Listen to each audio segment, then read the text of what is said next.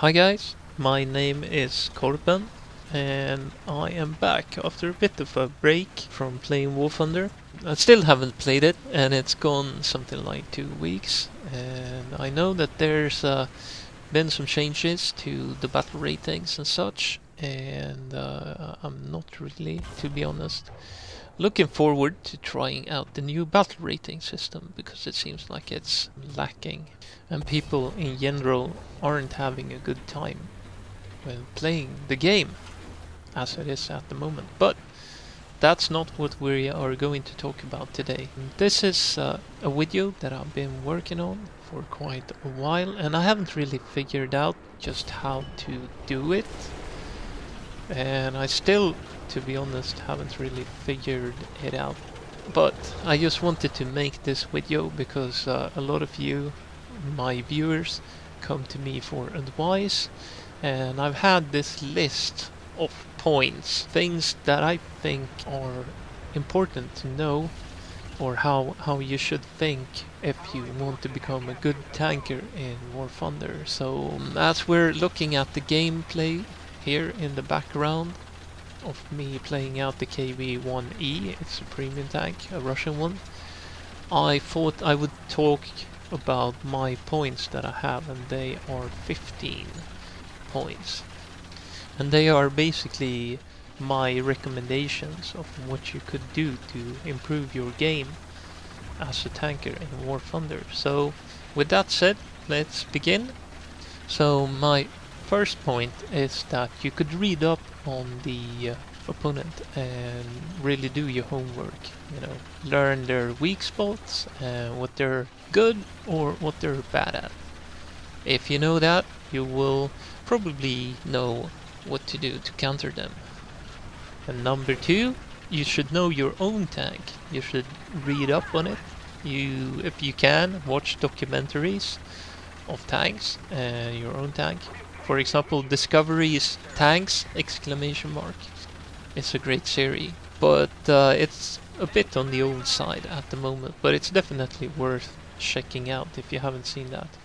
You could also visit websites or acquire books on tanks, new or old.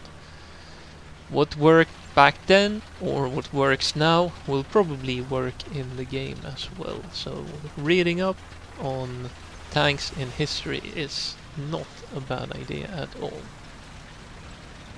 And that more or less brings us over to the third point that I had. And that is that you should or could study historical or contemporary sources about tank tactics, not tanks in general, but tank tactics. And uh, yeah, what worked or works in reality will uh, work in the game as well. So, like here, I flank the enemy tanks and that puts me in a very good position to fire onto uh, their rear or their side armor. And naturally tanks armor are at the weakest at the back and at the side. So two easy kills for me once I get my aim right. And they never even saw me coming and just because I took the time to flank them and go around. So, next point. Point number four is my recommendation that you should probably start by playing War Thunder tanks in arcade. And once you've done that for a while, move on to realistic battles and then lastly simulator battles. The difficulty will increase for each step you take up the ladder. And that is when you move over to another a new mode you have more things you need to consider and get used to. Like uh, in RB and simulator battles you do not get pop-ups on the map all that often. And you do not get the aiming assist that you have in arcade battles. The next step number five is basically just one word, and that is practice. Practice and practice. Don't expect to become really good until you mastered all the previous points I mentioned and see to it that you've had at least about 100 games in each mode. Um, spend time in test drive if you have the time to do so and practice long range shot short range shots and if you do that you will really get a feel for each gun uh, as you unlock a new tank. If you take them out to test the test mode area you will be uh, a better tanker since you've become accustomed to the gun and the velocity. Number 7. Try to squad up with your mates and stick together and help each other out. If you need to split up, move in pairs if possible and cover one another as the other pair move up. That was the way they did in history and that is often the way they do it today as well. The tankers, that is. That way you can minimize the risk of taking losses since you have somebody standing overwatch and are prepared to uh, cover you should you take fire from anywhere. And the second you take fire, you will be at least two tanks against one if you spot one enemy tank. Or if you're in a full platoon, you will be four tanks against one. Um, if your teammates have a clear shot at the tank, that is. Number 8. If you're not in a squad, try to stick close to other teammates, if possible, since they will most likely help you if they can, should you get into trouble. Or, if you just spot an enemy um, and there's a, a friendly tank nearby, well, they want to get points and get experience, so naturally they will fire upon your target. And then once again, you're in a two versus one situation. And you're much more likely to live through an encounter like that rather than uh, one versus one encounter. Number 9. Communicate with your team by using the chat. Relay enemy positions, what kind of tanks they have, and their numbers, if you know that. Um, call for help if you need it. Every now and then you can actually get some help from someone. And especially in simulator battles, people that doesn't see the enemy will come to aid you if you call for help because that means that you have contact with the enemy tank and once again they want to shoot at enemy tanks so press that T and then press 4 I believe and 7 if I'm not completely mistaken Number 10. Always flank the enemy if you can and try to keep your own flank secured as much as possible. Now I've already done a video about this so have a look at that video if you want to know more about flanking and uh, just basic tactical awareness in combat. Number 11 and this is a different tactic that you can apply if you don't want to flank the enemy and that is to take up a good position on the battlefield and just wait for the enemy to come to you. That way you'll most likely be the one to get the first shot off since you'll most likely be prepared um, and you will spot the enemy before they see you. And that also means that you should not go down the middle of the map where everyone can see you uh, because that will get you killed. If you move up too far the enemy will get a clear shot at your side and then you will be done for. So do not charge straight down the middle of any map in a tank. That is not a good idea. Number 12. Outplay the enemy by anticipating his or her next move and counter that right away instead of waiting for the enemy's move and then countering it. Um, this will make you unpredictable in the enemy size and uh, unpredictable opponent is a very dangerous one because you never know what to expect from them so try to think about what the enemy is most likely to do next and you prepare for that. Do you get it? Maybe that's a bit uh, blurry. But uh, yeah, it's definitely worth thinking about to counter the enemy's next move before they do that move. oh man, confusing stuff. Maybe you did get what I meant, or maybe it's just a English barrier, since I'm not a English uh, native speaker. But I'm trying to get my points across anyway. Being a tanker in the game is a bit like being a chess player. You have to anticipate what your opponent is likely to do during the next move, or maybe the upcoming three moves. If you anticipate the enemy's next moves, you'll be having the upper hand, because you'll be knowing what the enemy is likely to do next, and that really gives you a good setup for a counter attack or a counter to that uh, next move that that the enemy tank will make. So, and that will end up with you winning the duel, and everybody wants to win the duel and get kills. So, anticipate your enemy's moves and counter them. In effect, that could mean that you set up on a hill with your tiger overlooking a, a big field where you know or you suspect that there might be T-34s moving across, something like that. Or you set up in a nice bush with your Sturmgeschütz and uh, with a clear field of fire at the sides of the enemy tanks, something like that.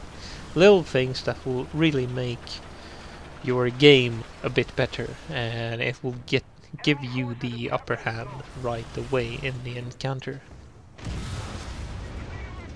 Over to the next point. 13. Whenever possible, and if your tank gun's depression allows it, take the high ground and lay down fire upon the enemies from above. Most tanks have weaker roof armor, which you can easily get through from above, and you can use that in your advantage. And then again, if you hold that higher position and you just stay put there, you will probably see the enemy before they see you. Now that's not a guaranteed however, because you might be putting yourself up on the top of uh, a ridge or something and that will give you give away your position clearly as you will be a silhouette against the horizon something that breaks off the natural pattern of the ridge like here, you see, I spotted that Panzer III right away because he was a, a natural uh, feature of that ridge. Even though he's uh, he's using yellow camouflage, I saw right away that that is not the stone. That is a tank. And number 14. And this is a bit of a personal psychology thing and that is that you should always try to stay focused when playing. And what does it mean to stay focused? Well, naturally it, it, it means that you shouldn't lose your temper. Remember, it's only a game. Don't uh, drink too much alcohol, coffee or energy drinks when you're playing, because that will really mess up your game uh, as you become under the influence of something, whether that is caffeine or taurine or, I don't know, soft drugs or alcohol. It will really mess up your gameplay. And you will do stupid stuff, especially under the influence of alcohol if you're playing. So try not to drink and play War Thunder at the same time. And also, it doesn't hurt to get your regular daily sleep in and uh, if you do that you will be more focused as a person and you'll make better decisions when push comes to shove in the game and you're really pressed. And also don't play too much. Uh, long sessions will not help you improving your game since you'll most likely be tired and if you're tired you doesn't really learn anything new really and your decision making will be lacking, to say the absolute least. I don't know, that's me anyway. I can't really play good if I'm tired. I don't know how you guys are. If you're a machine that can play for 48 hours straight without making any kind of stupid mistakes, well, I congratulate you And last but not least, and this is something that most people doesn't really think about, and that is to go outside and to get some real life exercise. Um, I used to be a slob and just sit inside all day playing computer games.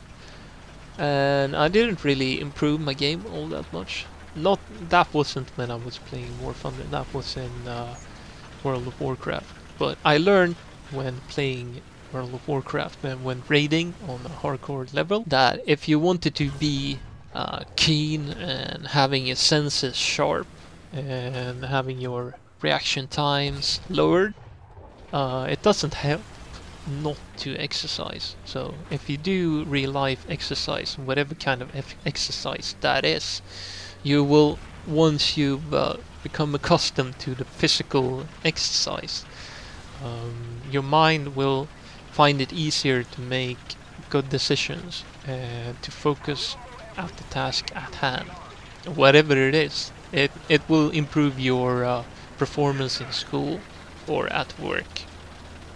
It takes a bit of uh, a period of time to get accustomed to training and stuff, but once you get used to it, your brain will start working faster. And uh, if your body is healthy so yeah. That was a bit of a odd last point but um, it's definitely worth thinking about. I've uh, I've been overweight and it doesn't improve your gameplay to say the least. And once I started training I became much more mellow much more focused and I had a better result overall. So we're coming to a close here for the video and for the game since we are actually winning. I've had a very nice game here in the KV-1E I've gotten 7 kills, I believe. And that's not bad for simulator battles, and uh, I've spent most of the game alone, so... What do you think about the points, guys? Um, have I missed anything? I would like to know if you have any kind of uh, advice for uh, the rest of the viewers. It doesn't hurt to have a sensible discussion and give each other some advice. I'm sure that I make mistakes, we all do. So if you see some kind of mistake I'm doing and you would like to point it out for the others, now is the time to do so. Yeah, so let's have a discussion. Talk about some uh, ways to improve your gameplay. So with that said, thank you all for watching guys. I'll see you guys around in the next video.